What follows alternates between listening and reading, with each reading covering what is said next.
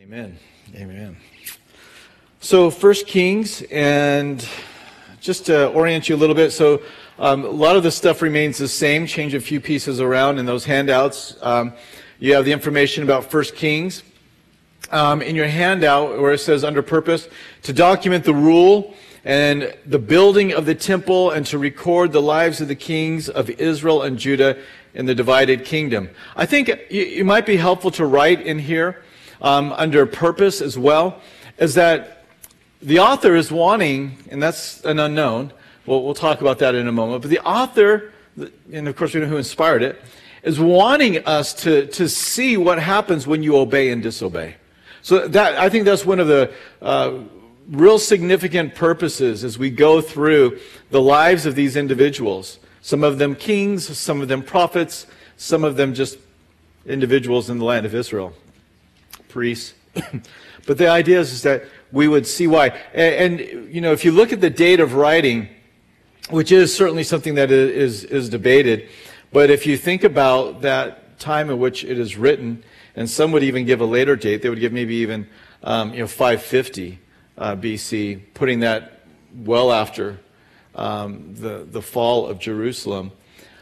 It's reflective. Now, it's compiled over the years, but if you, if you think about that, that becomes a little more significant, doesn't it? Because if, if the book is being brought together after both the northern tribes and the southern tribes have been judged because of their disobedience and rebellion, and you're one sitting in Babylon, and you're wondering what happened, and then this book comes out, and you start to read it, it's like, oh, I get it.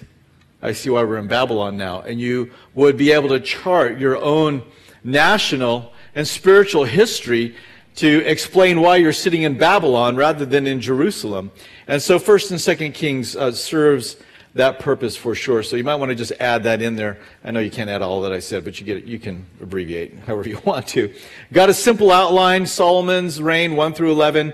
You have a divided kingdom in chapters 12 through 16.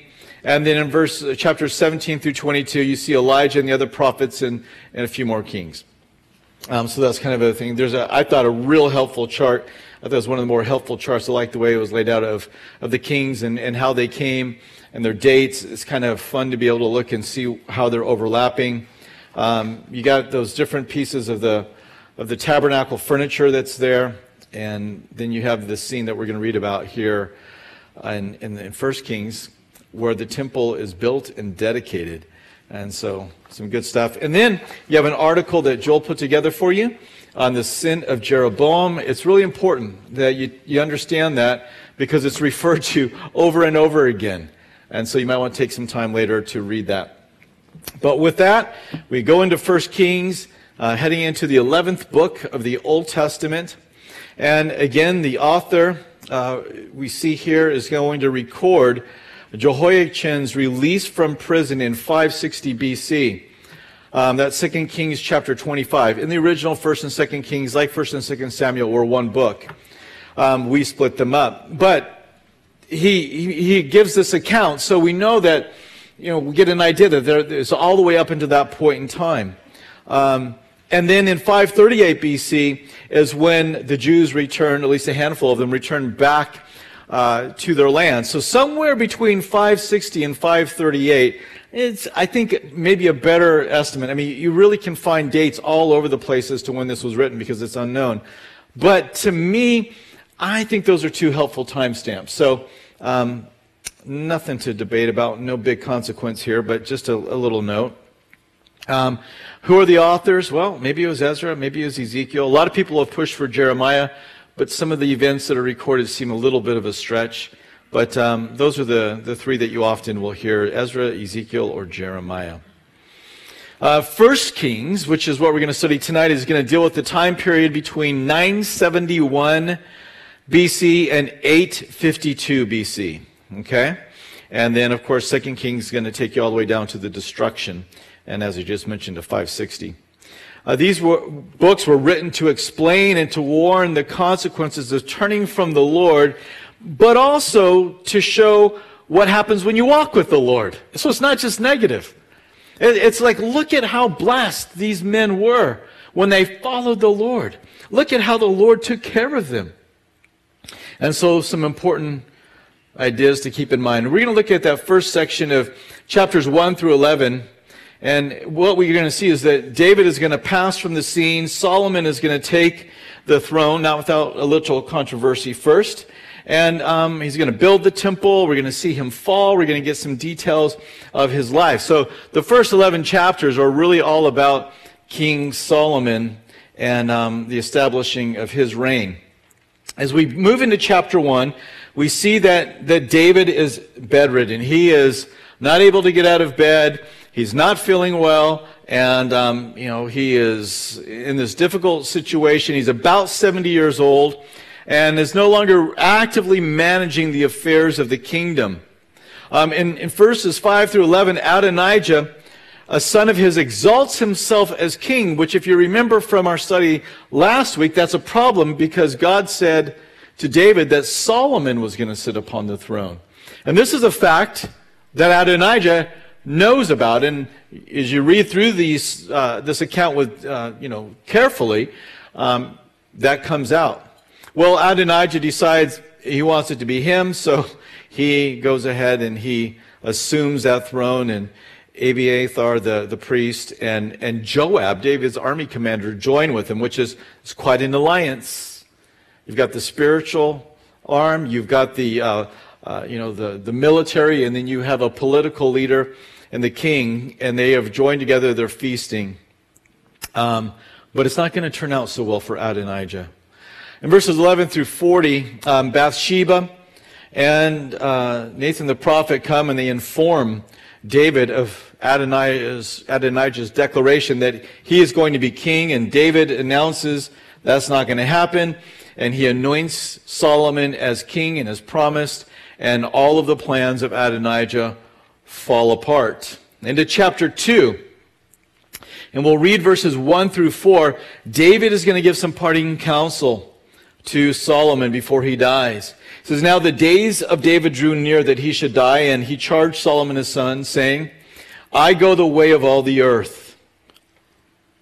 Everybody dies. There'll be a generation that will remain alive at the coming of the Lord.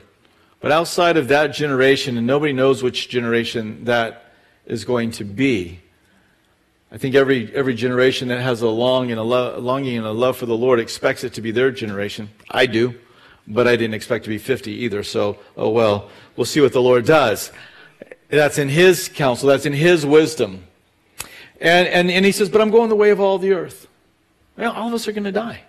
But what, how wonderful it is when we know the Lord is our Savior that we don't have to fret over this. Hmm, beautiful. Beautiful hope that we have. He says, Therefore, prove yourself a man. It's coming into your hands. Live up to the call on your life and keep the charge of the Lord your God to walk in his ways, to keep his statutes, his commandments, his judgments, and his testimonies. Pretty clear what he wants him to do there. How many different ways can he say obey the Lord, right? Obey the Lord. This is what is written, as it is written in the law of Moses, that you may prosper in all that you do and wherever you turn. It's kind of a key point to the purpose of the book again. If you do this, you'll prosper. They're sitting in Babylon reading, we didn't prosper. I guess he didn't obey. Kind of a foreshadowing of events to come. Verse 4, that the Lord may fulfill his word to which he spoke, which he spoke concerning me, saying, if your sons take heed to their way, to walk before me in truth with all their heart and with all their soul. He said, You shall not lack a man on the throne of Israel. Okay, well, that's going to just fall apart. But I, what I want you to see is, he says, with all your heart and with all your soul. God never calls us to just, you know, uh, meaningless obedience and uh, kind of just robotic doing what God said. It's with all your heart, it's with all your soul. We saw this in Deuteronomy. We see it here. We see it in the New Testament. Our obedience is an overflow of our love for the Lord. And so, be strong, act like a man. Don't be afraid of the hard things that are gonna, you're going to face you. Walk in obedience. Enjoy the blessing of obedience.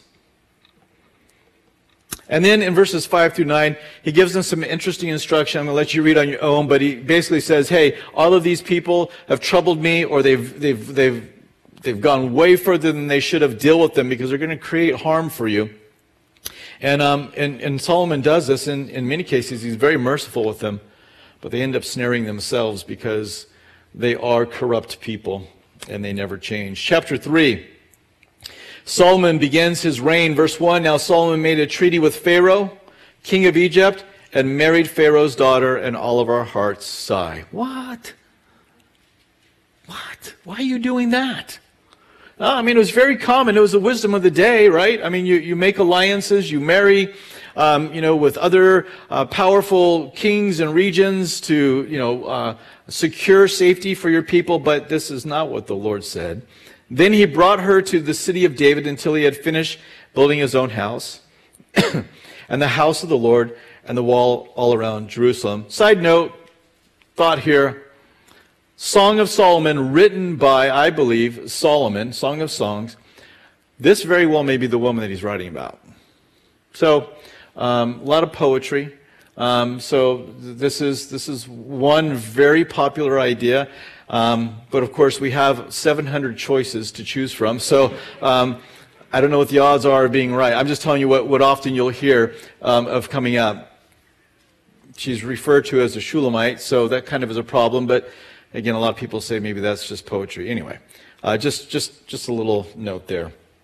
Um, verse two. Meanwhile, the people sacrificed at the high places because there is no house built for the name of the Lord until those days. So the idea here is, and it's wrong, they shouldn't have been doing this, but because there wasn't um, a temple, they were going out and doing it at high places. They should have done it at the tabernacle, but it seems like, you know, the Lord is not coming down on them for this. And Solomon um, even does this. Verse 3 Solomon loved the Lord, walking the statutes of his father David, except that he sacrificed and burned incense at the high places. So, um, once the temple is built, though, the Lord draws a really dark line, deep line in the sand and says, Don't do this. Now, Solomon, in this classic portion of this book, um, goes and he meets with the Lord, goes to Gibeon, makes a sacrifice, and the Lord appears to him. And uh, Solomon, you know, speaks to the Lord. And um, the Lord says, you know, ask, what shall I give you? And Solomon in verse 6 said, You have shown great mercy to your servant David, my father, because he walked before you in truth and righteousness and in uprightness of heart with you. You have continued this great kindness for him, and you've given him a son to sit on his throne as it is this day. Now, O Lord my God, you have made your servant king instead of my father David, but I am a little child. I do not know how to go out or to come in. And your servant is in the midst of your people, whom you have chosen, a great people too numerous to be numbered or counted. That would have been great news to the ears of Abraham, wouldn't it?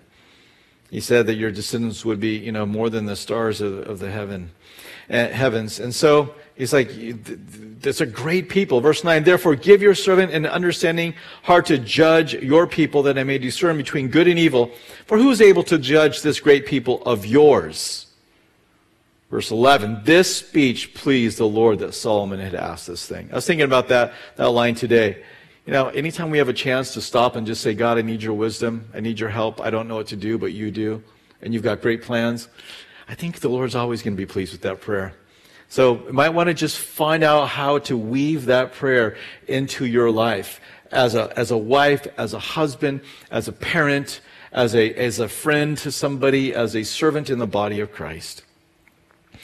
And, and so the Lord promises him, He says, because you've asked this thing and have not asked for long life for yourself, nor asked riches for yourself, nor have asked the life of your enemies, but you have asked for yourself understanding to discern, in, uh, to discern justice, behold, I have done according to your word. See, I have given you a wise and understanding heart, so that there has not been anyone like you before you, nor shall any like you arise after you. You are the smartest guy ever. That's, that's something. And I've also given you what you have not asked, both riches and honor, so that there shall not be anyone like you among the kings all your days. And God's conditional promise is reiterated there, uh, is given to Solomon. I did say conditional. Notice, so if you walk in my ways to keep my statutes and my commandments as your father David, I'm in verse 14, then I will lengthen your days. Then Solomon awoke, and indeed it had been a dream. And he came to Jerusalem and stood before the ark of the covenant of the Lord, offered up burnt offerings, offered peace offerings, and made a feast for all of his servants. Uh, David was given an unconditional promise that there would always be one to sit upon the throne, and that promise is ultimately fulfilled in the Messiah Jesus. And we're waiting for that at the second coming. But he says, if you walk in my ways. And so they had to walk in their ways. The promise, the Davidic uh, promise covenant, though, was unconditional. But yet, to each of the king's descendants of um, uh, David, they had to walk or they could be removed from that throne. Not at all undoing the Davidic covenant, unconditional that the Messiah one day would. Well, into chapter 4, um, we have the highlights of the many blessings Solomon experienced as the new king of Israel. Um, in verses 1 through 19, actually through 21, I'll say, um, you see the, the very many, uh, many able people and capable people came and assumed responsibility in the country. Um, and his cabinet is being selected. He's getting the right people in the right place. It's a big deal. All, as we'll read through Second Kings, lots of intrigue, a lot of uh, you know plotting to kill. This is no small feat that he is undertaking. And then in verses 20 and 21, what do we read here? It's a great time of peace. Judah and Israel were as numerous as the sand by the sea in multitude, eating and drinking and rejoicing. It's just a great time. So Solomon reigned over all the kingdoms from the river to the land of the Philistines, as far as the border of Egypt. They brought tribute and served Solomon all the days of his life. So, I mean, it's just a, David had beat back the enemy, and Solomon gets to inherit this, and he gets to walk in, in the peace of that. Don't want to press this point too hard, but I believe it with all my heart. You know, when we as parents walk with the Lord, we make it so much easier for our children to walk with the Lord. No, there's no, there's no guarantees and promises that's going to happen. But, but you know what? It's a whole lot easier. It's a whole lot easier when, when that, you know, the, the tall weeds have been cut down and you just get to walk behind. And, and this is what happens for Solomon. He gets the blessing. His dad fought, was always fighting. But Solomon, he's not known as a warrior. He didn't have to. And so, um, just an interesting little parallel to take and, and to ponder for yourself and make certain that you're fighting. And you, you may not see the motivation for yourself, but why don't you think of those who are coming behind you? And um, that's true for all of us, even if we don't have children. Within the body of Christ, we're a family. And so um, I, I, can think of many men that have gone before me. And what a blessing that I get to walk behind them and, and to, to have modeled for me not only in my family, but in, you know, in the ministry family, I, I'm able to see that. Well, Solomon's wealth is highlighted there in verses 22 through 28. I mean, he has a ridiculous provision in verses 22 through 25. It just kind of almost makes you sick to just read it, I'll have to say. But anyway, verses 26 through 28. Um, Solomon had 40,000 stalls of horses for his chariots. Um, Second Chronicles 9:25 says he has 4,000. So most would agree that this is just a copyist error that, that is found in uh, 1 Kings. 4,000 seems to be a, a, number that's more reasonable with just knowing um, how many, what even a large amount, a crazy amount of horses would be. So it's just a little side note there. Um, but um, he has all these horses interesting because in Deuteronomy 17, verses 16 through 17, and this is a key verse for the kings, but especially for Solomon. Deuteronomy 17, 16, and 17. But he shall not, speaking of the kings, he shall not multiply horses for himself. Hmm. 4,000 stalls. Sounds like multiplication there. Nor cause people to return to Egypt to multiply horses, which is exactly where he's going to get them from as well as other places. For the Lord said to you, You shall not return this way again, neither shall you multiply wives for himself, lest his heart turn away, nor shall he grow, greatly multiply silver and gold. Strike three. I mean, he, he's going to whiff on every single one of these. Um, both with horses, speaking of might and power, um, pleasure with the, with the women, and then just resources with money. Um, but he is given great wisdom. And in verses 29 through 34 is talked about, but zero in with me right there into verse 32. He spoke 3,000 proverbs, and his songs were 1,005. 1,005 songs. All right, pop quiz. Which was his best one? Song of Songs. Song of Songs is like this was his best one, which is we often think of this book as the Song of Solomon. But of course, uh, contributed to the vast majority of the Proverbs in the book of Proverbs and a thousand and five songs. And his, his knowledge was, was broad. He spoke of trees, um, he spoke of animals, birds, creeping things, of fish, and men of all nations from all the kings of the earth who heard of his wisdom came to hear the wisdom of Solomon. He was the Wikipedia of the day, I guess. I don't know. He was Google, you know, you know, dot Israel or something. I, they, they went to him to, to learn and to be instructed. And he was a, a wise man. Now, little, do something a little bit different here. I hope it works out. We'll see. You can let me know afterwards. Um, some of you will know I've done this before. Um, chapter 6 and 7, we're going to watch a video, so if you guys can kind of get that right, it is five minutes, and it basically is going to uh, walk us through this, uh, the, the, scripture. The scripture will be read in the background, and it's going to take us through uh, the temple. And I could read it to you, and we could go through the description. But I think, I think you're going to enjoy this. I hope you do. I thought it was good. Um, uh, just a few things, though, to note. Um, there's going to be two huge capitals, uh, bronze pillars. They're over 34 feet high, 18 feet wide. Um, you're going to see a huge, well, you'll see a mini swimming pool on, on the back of oxen that holds between uh, um, 11,000 and 18,000 gallons of water. You're going to see 10 smaller carts that each hold 230 gallons of water. All of that was to help clean up from the, from the sacrificing that was going to be done. Actually, when they dedicate the temple, it's almost 150,000 animals that are going to be slaughtered. Um, so, you know, how do you clean that up? They needed a lot of water.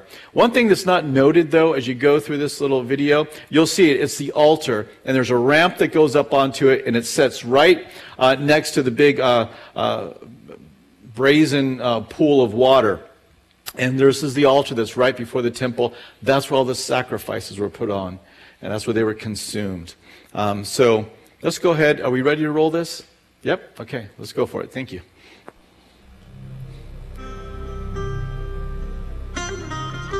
And it came to pass in the 480th year, after the children of Israel were come out of the land of Egypt, in the fourth year of Solomon's reign over Israel, that he began to build the house of the Lord.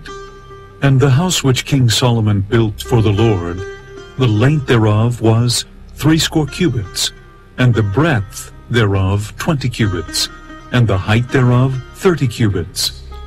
And the porch before the temple of the house, twenty cubits was the length thereof, About according to the breadth of the house, and ten cubits was the breadth thereof before the house.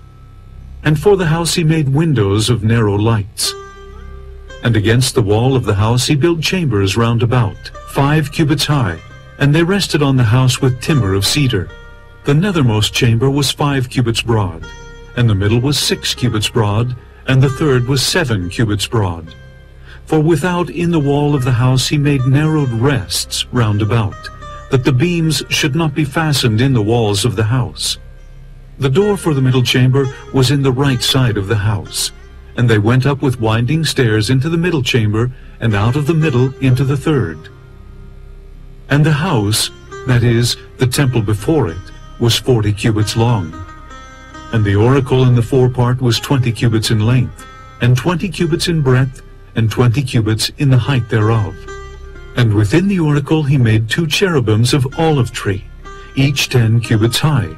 And he set the cherubims within the inner house, and they stretched forth the wings of the cherubims, so that the wing of the one touched the one wall, and the wing of the other cherub touched the other wall, and their wings touched one another in the midst of the house. And he carved all the walls of the house round about with carved figures of cherubims and palm trees and open flowers, within and without. And the whole house he overlaid with gold, until he had finished all the house. And for the entering of the oracle he made doors of olive tree. The lintel and side posts were a fifth part of the wall. So also made he for the door of the temple posts of olive tree, a fourth part of the wall. And the two doors were of fir tree. The two leaves of the one door were folding, and the two leaves of the other door were folding. And he carved thereon cherubims and palm trees and open flowers, and covered them with gold fitted upon the carved work. And Solomon made all the vessels that pertained unto the house of the Lord, the altar of gold, and the table of gold, whereupon the showbread was. And the candlesticks of pure gold, five on the right side, and five on the left, before the oracle, with the flowers and the lamps, and the tongs of gold. And he set up the pillars in the porch of the temple, and he set up the right pillar, and called the name thereof Jachin.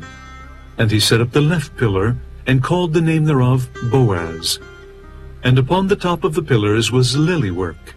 So was the work of the pillars finished. And he made a molten sea, ten cubits from the one brim to the other. It was round all about, and his height was five cubits, and a line of thirty cubits did compass it round about. It stood upon twelve oxen, three looking toward the north, and three looking toward the west, and three looking toward the south, and three looking toward the east. And the sea was set above upon them, and all their hinder parts were inward. And it was an handbreadth thick, and the brim thereof was wrought like the brim of a cup, with flowers of lilies. It contained two thousand baths. And he made ten bases of brass. Four cubits was the length of one base, and four cubits the breadth thereof, and three cubits the height of it. And on the borders that were between the ledges were lions, oxen, and cherubims. And every base had four brazen wheels. And the work of the wheels was like the work of a chariot wheel. Then made he ten lavers of brass. One laver contained forty baths, and upon every one of the ten bases one laver. And he put five bases on the right side of the house, and five on the left side of the house. And he set the sea on the right side of the house eastward over against the south. So was ended all the work that King Solomon made for the house of the Lord.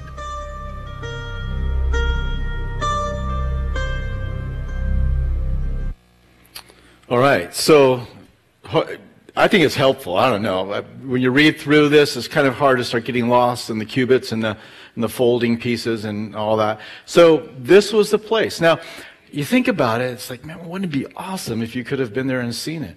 And of course, it would have been, right?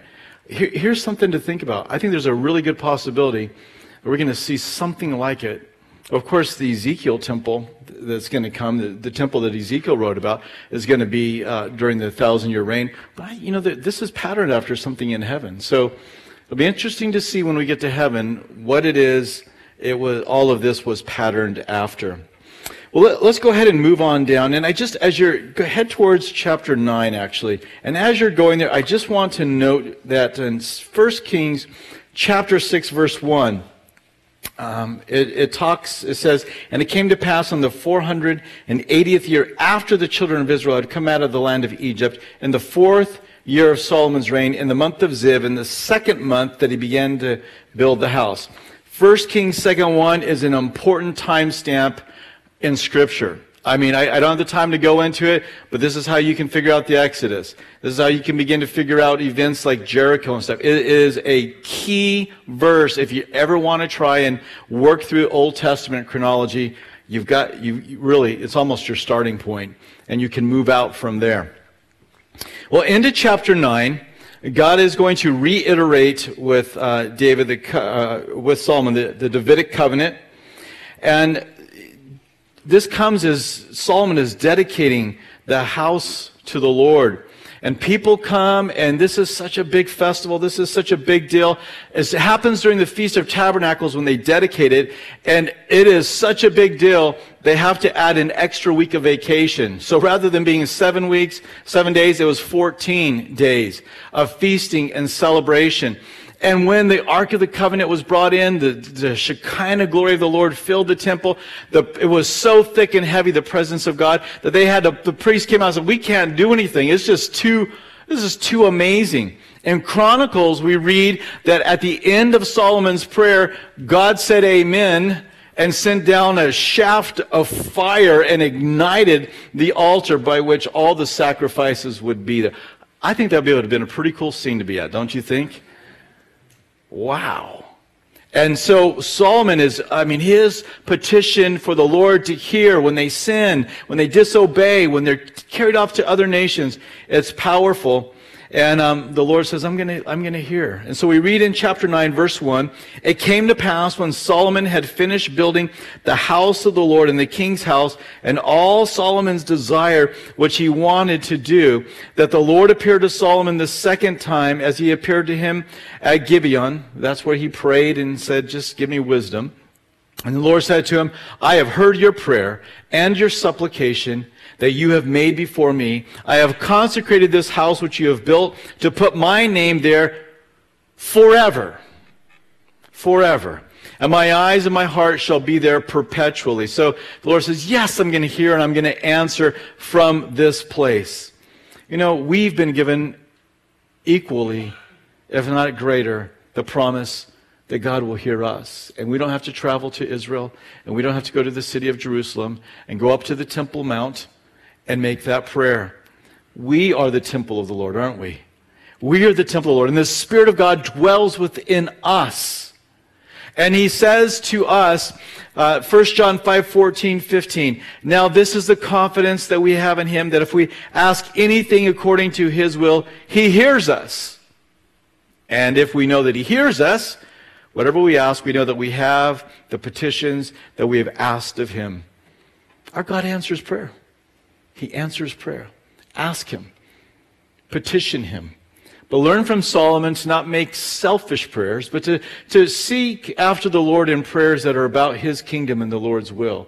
And you'll find a whole lot more of your prayers being answered. At the end of, of this chapter, verses 26 through 28, you find out that Solomon also got into building ships to he had all this money. What's he going to do with it? He's got to buy something. So there was no, you know, you know, large malls by his house. So he just went around the world to the best malls and brought all the stuff to himself. And I mean, he brought some pretty amazing things. Chapter 10, he gets the, the visit from the Queen of Sheba. As she comes in, she's impressed with him, with his wealth, with the way the house is established. She brings all kinds of gold, all kinds of money to him. And um, we read here, let's see, where do I want to read? Mm. Let's verse 22 of chapter 10. And the king had merchants at, ships at sea with the fleet of Hiram. Once every three years, the merchant ships came bringing gold, silver, ivory, apes, and monkeys. Yeah, I mean, just everything, right? So King Solomon surpassed all the kings of the earth in riches and wisdom. Now the earth sought the presence of Solomon to hear wisdom, which God had put in his heart. Each man brought his present articles of silver and gold, garments, armor, spices, horses, and mules at a set rate year by year. The same man who in, gets all this wealth writes the book of Ecclesiastes. And kind of the, the, the, the, intro, the introducing you know, verse and the end says, Vanity of vanity, all is vanities.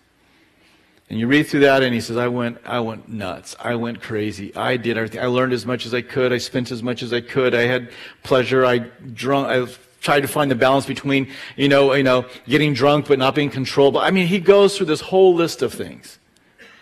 And his conclusion is, it's all vanity. And you can re- read this and you can be impressed, but if you don't understand the personal cost to him, you would miss what happened. And so we're warned about desiring to be rich. In 1 Timothy 6, 9 through 10, those who desire to be rich fall into temptation and the snare. It doesn't say those who are rich, it says those who want to be. You could be poor and fall into the snare.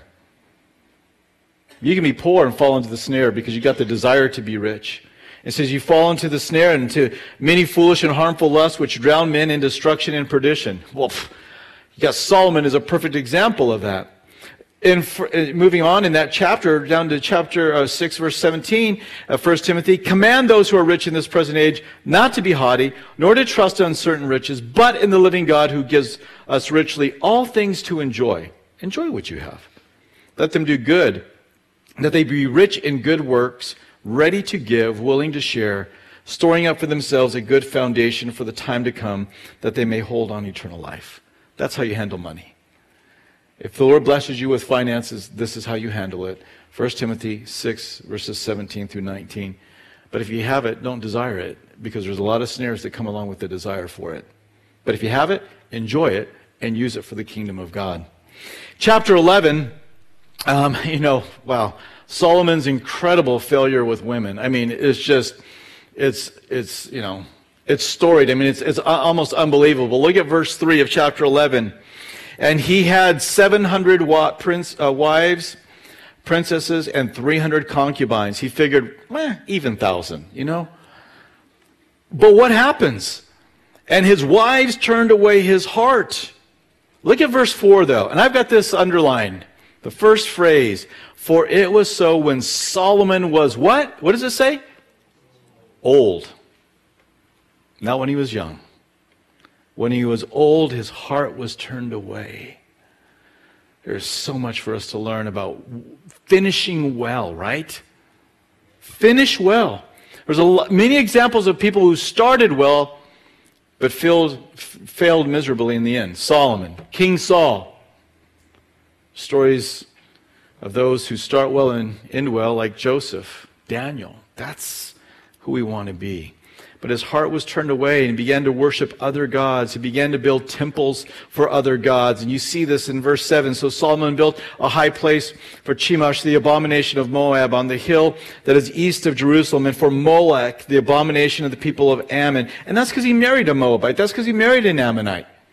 And this is going to have a profound impact on his children that are being raised by moms that are worshiping these other gods. And then the king's heart's going to go. It, it, just is a, it's a pattern that begins and it does not end well. And this would have been a, a, a high point in bringing understanding to the people in Babylon as to why they were in Babylon when they read this.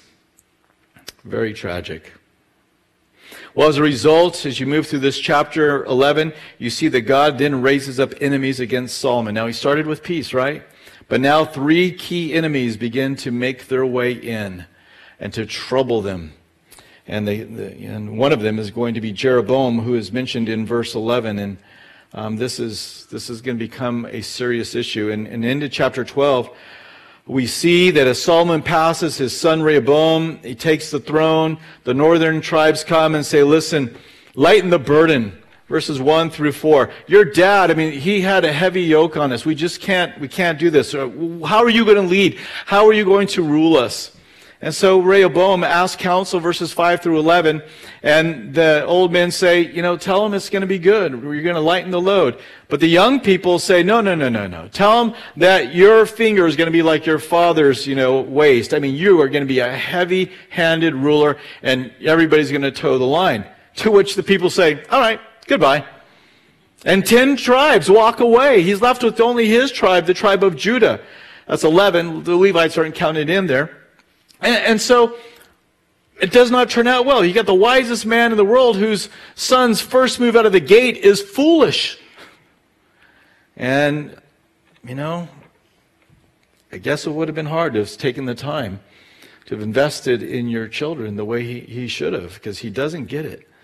Um, he clearly doesn't know Proverbs 15.1. A soft answer turns away wrath, but a harsh word stirs up anger. Oh, yeah, my dad said that. Well, you should have remembered that. And when you were talking to these people. And um, of course, when the Lord came to this earth, he came not to, to be served, but to what?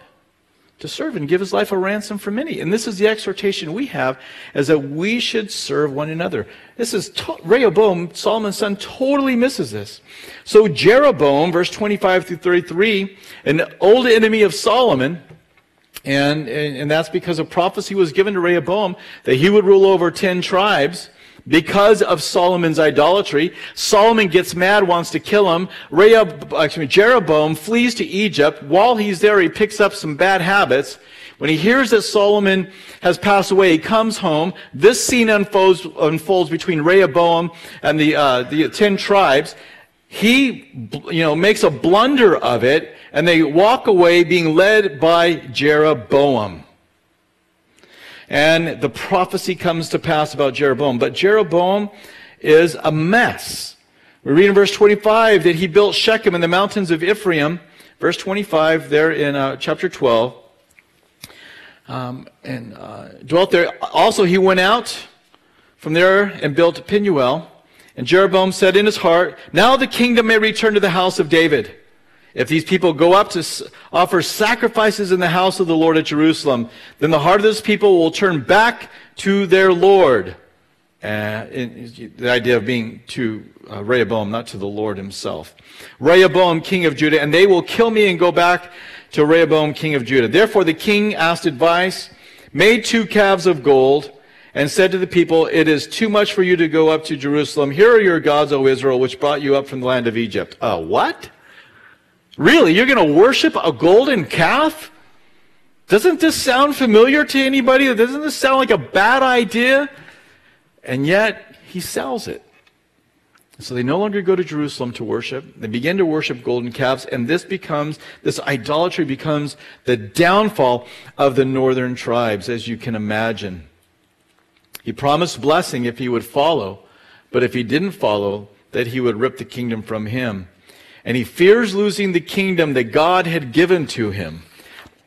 Small lesson, well, small point, big lesson. Don't ever make decisions from fear. You can pretty much count on the fact that if you make a decision in fear, you're making the wrong one, especially as a child of the Lord.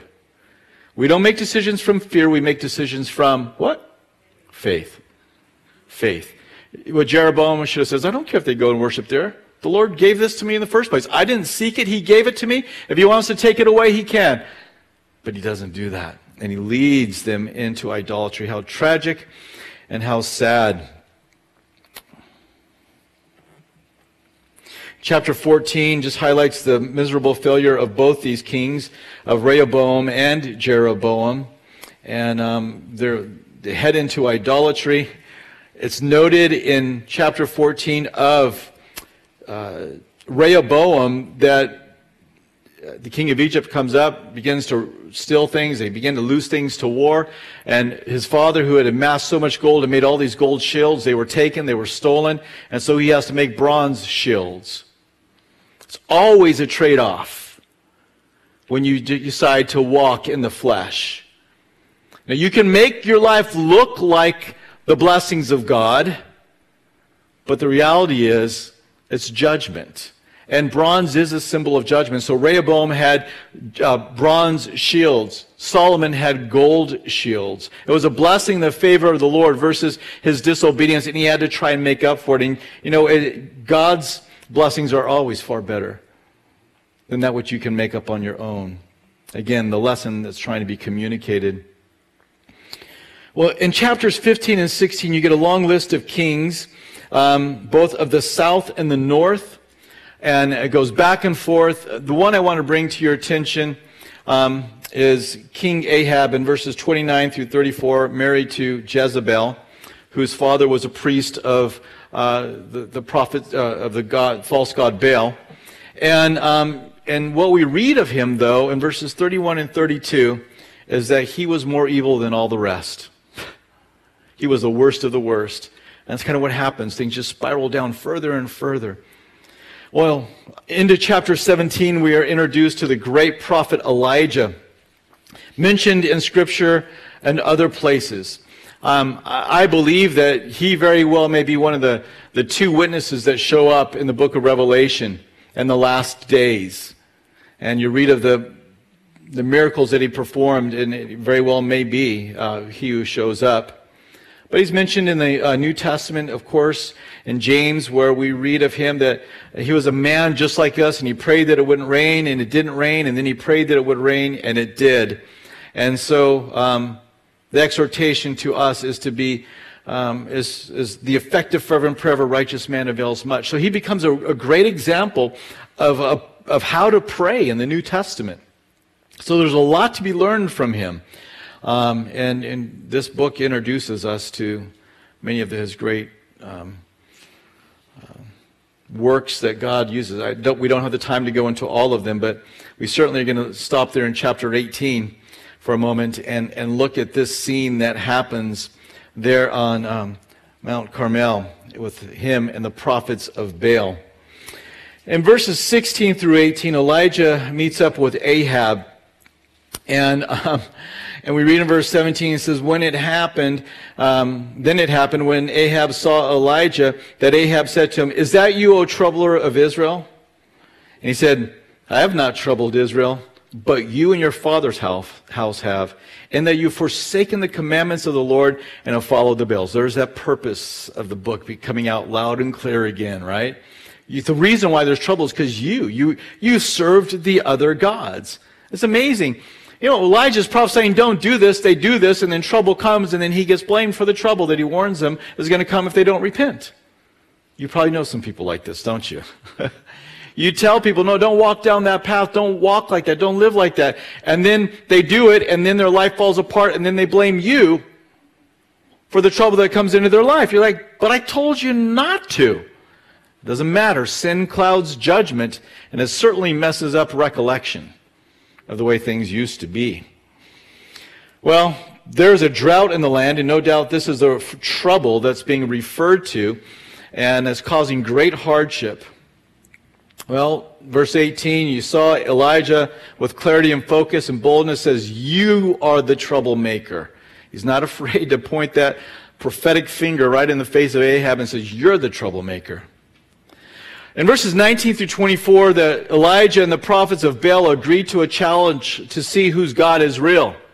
Wow.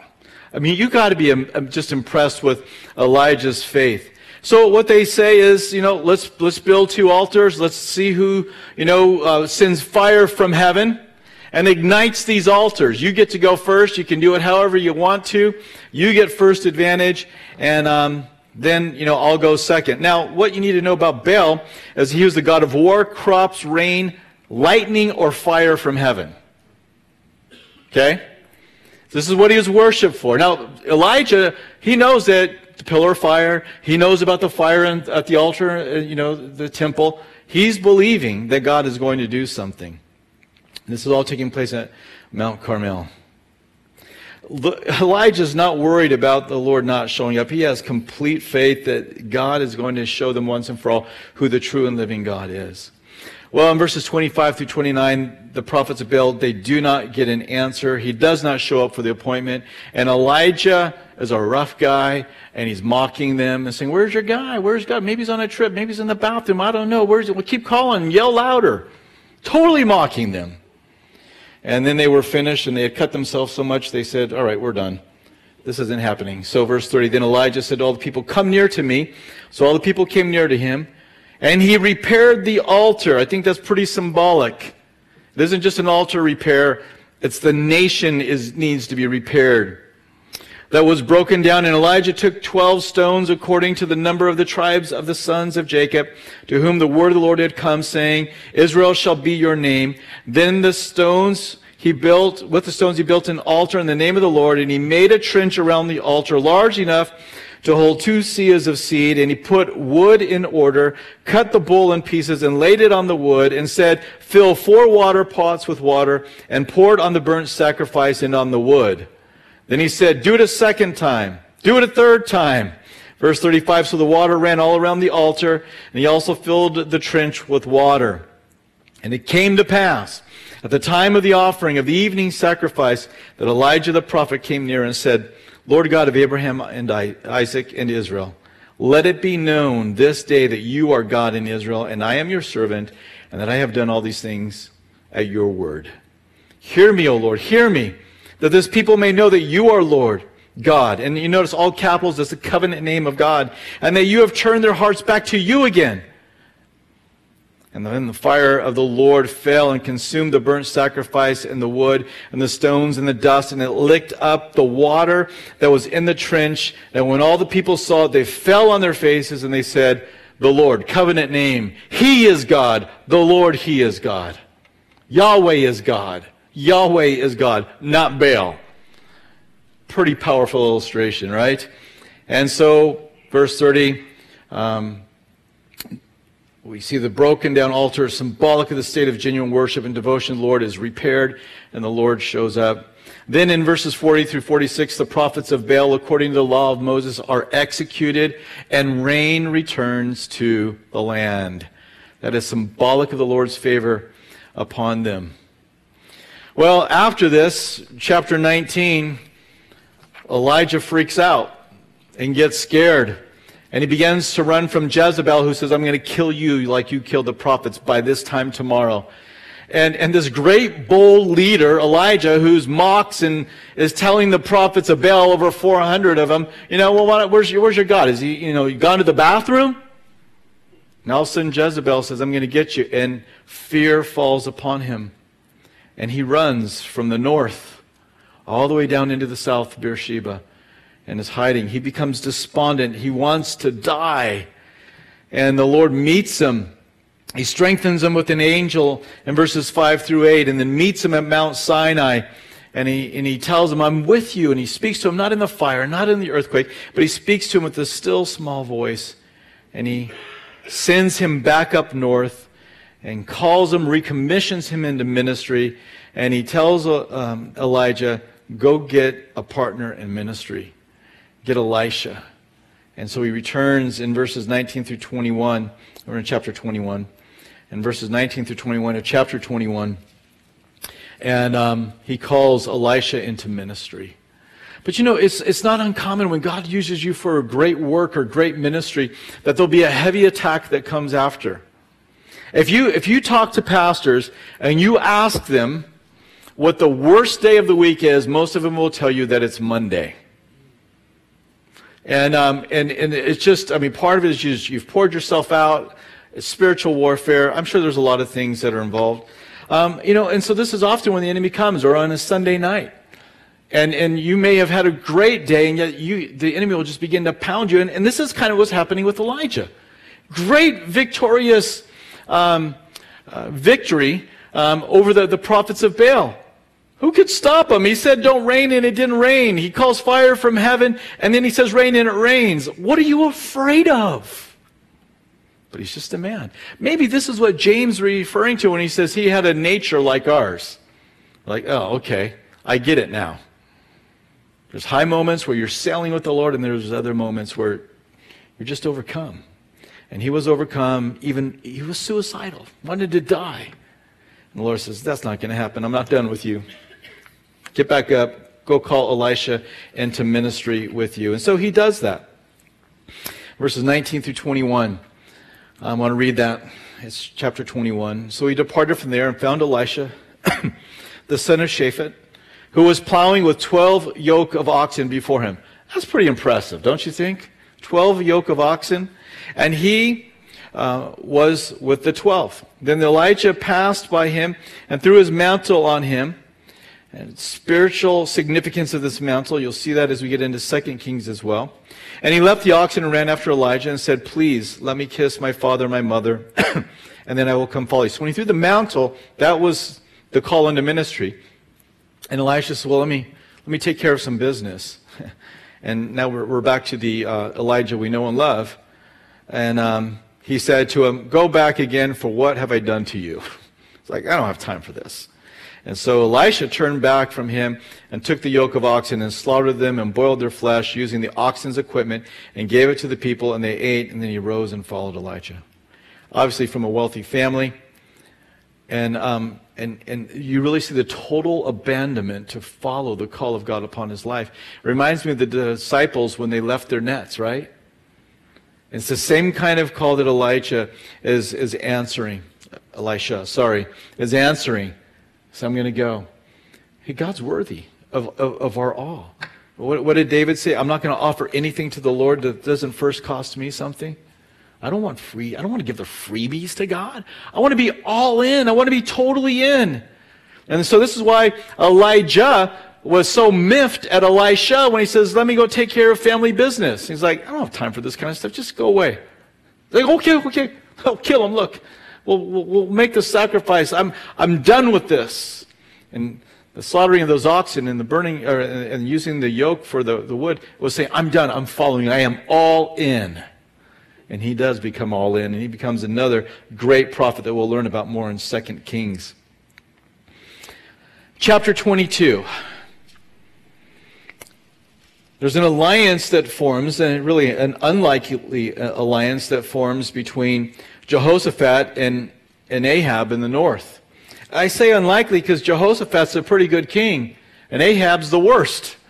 So we read in verse 1 Now three years passed without war between Syria and Israel. Then it came to pass in the third, third year that Jehoshaphat, the king of Judah, went down to visit the king of Israel. Now, king of Israel is to the north, but he went down because he's leaving Jerusalem, and anytime you leave Jerusalem, you always go down. Doesn't matter we're going north or south, okay? You go down. And the king of Israel said to his servants, do you know that Ramoth, Gilead, uh, Ramoth in Gilead is ours? But we hesitate to take it out of the hand of the king of Syria. So he said to Jehoshaphat, Will you go with me and fight at Ramoth Gilead? Jehoshaphat said to the king of Israel, I am as you are, my people as your people, my horses as your horses. So they're like, well, let's find out how things are going to go. So um, you look there in uh, verse 7. Uh, and they're, they're seeking the prophets to find out how the battle is going to go. And um, they're asking the prophets of Baal, and of course, they're saying, hey, things are going to go great. Um, you're going to you're to have victory. And um, so Jehoshaphat, again, a good guy, is watching all these uh, prophets of Baal coming and saying this. And then he says to him, Is there not still a prophet of the Lord here that we may inquire of him. He's kind of like, you know, I don't really feel comfortable with these prophet of Baal guys. Do we, do we have another guy we could call upon? Because these make me a little nervous. Look, look at this response. So the king of Israel said, verse 8 to Jehoshaphat, There is still one man, Micaiah, the son of Imlah, by whom we may inquire of the Lord, but I hate him, because he does not prophesy good concerning me, but evil. And Jehoshaphat said, let not the king say such things. And the king of Israel called an officer and said, Bring Micaiah the son of Imlah quickly. So they bring him in and said, Now tell me the truth. Uh, what's going to go? He said, Oh, you're going to have a fantastic victory, king. Don't worry. I'm sure his, his prophecy is laced with sarcasm in the tone of his voice because he's like, No, no, no. You tell me the truth. Said, All right, you're going to die. That's the truth. See, I told you he never says anything nice. That's why I don't like him. And so, um, you know, he still goes out to battle, does not repent with the threat of death on him. And so he goes out to battle. And um, Ahab is, dies in battle. Now, there's a really interesting exchange that happens between Ahab and Jehoshaphat. Ahab says to Jehoshaphat, You know, I'm kind of afraid they might kill me. Um, why don't you dress up like the king that you are, and I'm going to disguise myself? Well, the, the armies, you know, they're going out to fight, say, You know what? Only shoot for the kings. They see Jehoshaphat, they come after him, and they realize that it's not Ahab, and they leave him alone. And then a random arrow goes flying, and it hits Ahab in, uh, in the joint of his armor and ends up taking him down. But you know, you just have to wonder at that when, when he says, you know, you dress up like the king, I'm going to be in disguise. That doesn't sound real good. But maybe Jehoshaphat, listening to Micaiah, said, mm, you're already a dead man. You can do whatever you want. Who knows? But uh, it's just kind of a, it's a, I don't, I'm sure I would have had more to say in that moment than, okay, um, you know, I'll dress up like the guy with the big target on, and you don't have to. But, but he's preserved. Ahab dies in battle. And was pro- as was prophesied in verse 37, uh, the blood that is shed and uh, is, is cleaned up um, from his chariot in a, a town, a, dog, a dog comes along and licks up the blood, just like the prophet said it would happen.